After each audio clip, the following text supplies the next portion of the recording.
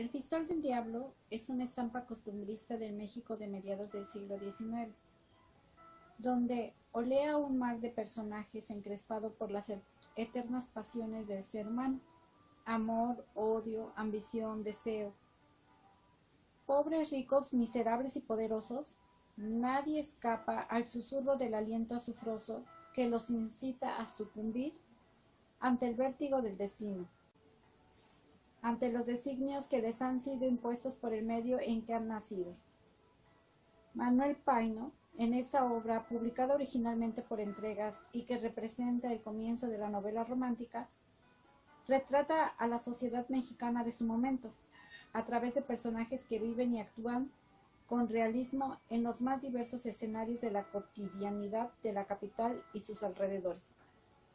Se trata de un mosaico de historias que en su conjunto dan ritmo al palpitar de una nación joven, inmersa en un contexto de inestabilidad y de amenaza ante la posibilidad de perder su soberanía y su independencia recientemente obtenidas. El Pistol del Diablo es una obra de Manuel Paino, un escritor mexicano, y por acá podemos ver que en efecto esta, mm, este relato acontece por las épocas posteriores a la, a la independencia. Mm. después de la misteriosa visita de Rugiero, el hombre de Calaís, a Arturo, la narración comienza con un gran baile en el teatro que comenzó llamándose Teatro de Santana que luego fue el Teatro Nacional y que comúnmente la gente conocía como el Teatro de Vergara, calle donde se encontraba, que es actualmente la de Bolívar. Ese teatro desapareció cuando hubo que abrir la calle para prolongar la avenida del 5 de mayo hacia la Alameda. bueno, quería leer una parte aquí. La novela termina en septiembre de 1847, con las luchas y desórdenes que tuvieron por escenario la Ciudad de México y sus alrededores, a la entrada de las fuerzas norteamericanas, al mando del general Scott, y que pusieron fin a una de las guerras más injustas, a la que fue llevado nuestro país por la acción incalificable de los Estados Unidos. Al anexarse la llamada República la llamada República de Texas, provincia mexicana en rebeldía, como un nuevo estado de la Unión de los Estados Unidos. De manera que el plazo en que se desarrollan los sucesos que narra el Fistol del Diablo es de poco más de tres años, de junio de 1844 a septiembre de 1847.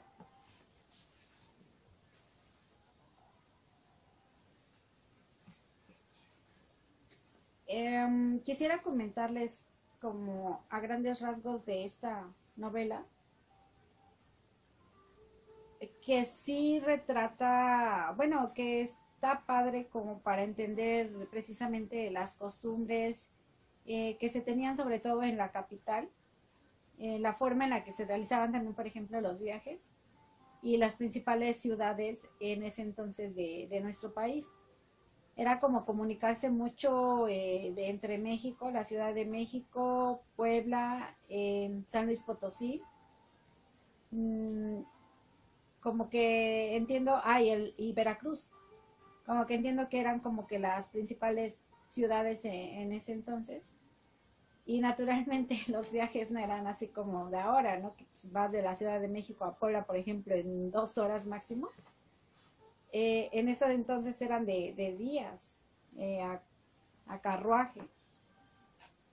Em, básicamente la novela trata de un tipo llamado Rugiero eh, que tiene un fistol y un fistol así súper hermoso de diamantes, brillantes y no sé qué más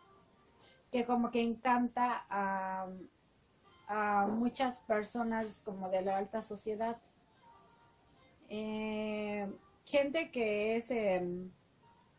que, está en esa posición, pues por descender de, familia que, ya tenía un buen nivel económico, gente que viaja a Europa, eh, personas de la milicia en altos puestos. Em, como dice aquí que empieza la historia en un gran baile, donde se junta así como que toda la, gente rica y, y, pues de las personas que más poder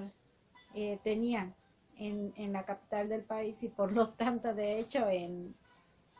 en el país completo, porque por ejemplo acá habla principalmente de dos chicas que son súper ricas,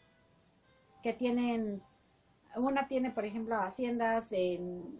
en San Luis Potosí, tiene haciendas creo que en Veracruz también, tiene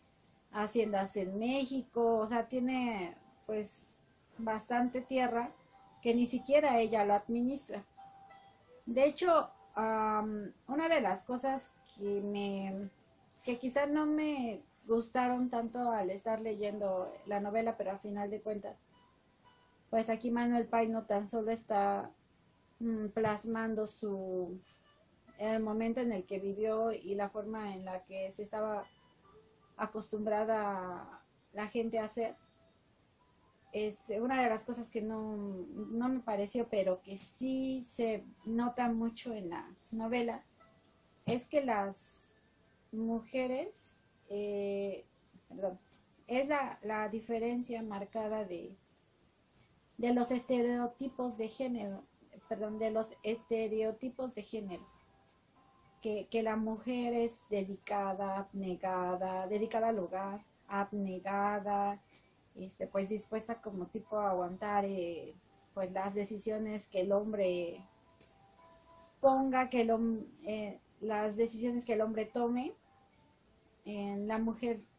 pues eh, desde, bueno, en esos tiempos estaba muy acostumbrada a asumir que ella tan solo um, debía de acatar lo que el marido, lo que su pareja o lo que sus tutores, que casi siempre eran hombres, dijeran. Acá sí se nota como mucho ese machismo, que creo que hasta la fecha es algo que no hemos podido eh, pues erradicar, ¿no? Y mm, digo que no me agradó tanto precisamente porque, por ejemplo, no solo porque las mujeres no, no pudieran opinar, no sé, en cosas como política o hasta, y que estuvieran súper metidas en la religión y súper acataran las órdenes tal cual las dijera el padre. También como que más bien me da coraje al leerlo, que de parte de las mujeres eh, existe ese, mm, esa indiferencia hacia esos temas, ¿no? Creo que a veces, mm, si traemos, bueno, lo que creo es que cuando uno lee una novela, sí lo puedes transportar como que a tu situación actual, aun cuando haya sucedido en otro tiempo, en otras condiciones y en otro... Uh, país, en, otro, en otra región, lo que sea. Pero creo que si se acopla lo que estás viviendo, lo, lo, pues sí la puedes empatar, sí la puedes relacionar. Y en este caso lo que yo relaciono un poquito es como esa indiferencia de, de, las mujeres de participar en ciertos en ciertas cosas de Em, pues de dar su opinión y de siquiera pensarlo, porque en ese tiempo, eh, por ejemplo, hay varios textos en los que una de las protagonistas, que es Teresa, eh, menciona, es que las mujeres no debemos meternos, no, no tenemos por qué meternos en temas de política y, de guerras. Nosotras tan solo recibimos a, a nuestros familiares, a nuestros hombres, a, a, nuestro marido, a nuestros hermanos, a nuestros padres, y los atendemos lo mejor que se pueda. Y nosotros solo, solo estamos para, como que tipo para, pues para aguantar todo lo que venga. Entonces, em, como que desde ahí mismo la, yo creo que que como que la mujer, no sé, siento que estaba rechazando su derecho pues a opinar y también estaba ella misma como perdón. Y también estaba como ella misma em, pues de no sé cayendo en la pereza mental quizá o sea en, en la en la necesidad de pues de ella involucrarse de ella opinar pero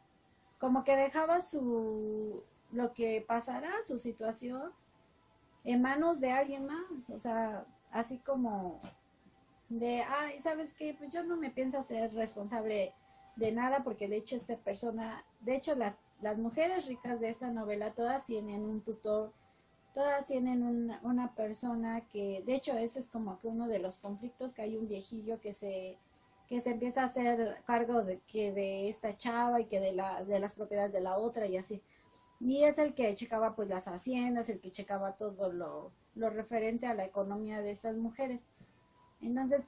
pues ellas mismas como que les daban así el poder al hombre en primero a su tutor después a su marido y así. Y simplemente ya solo pedían y esperaban eh, pues tener a su servicio mmm, pues tener a su servicio eh, eh, gente, tener su alacena llena, tener mm, con qué coser, con qué cocinar y todo lo que entonces se dedicaban supuestamente las, las chicas de la clase alta, ¿no?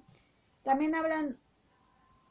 mm, en particular solo mm, de unas cuantas personas como de clase baja y muy, muy baja, de una chica. No he terminado de leer la novela, pero eh, principalmente es una novela en la que podemos como entender uh, como mm, la forma en la que vivían en esos tiempos en nuestras pues nuestros antepasados mexicanos es la forma en la que pensaban tan tipo caballeresca como tan tipo española, no sé, europea, algo así, como de que el hombre debe ser un caballero y debe de cuidar a las y debe de cuidar a, a la mujer, debe de protegerla, debe de siempre procurarla y ver por ella. Y la mujer pues debe de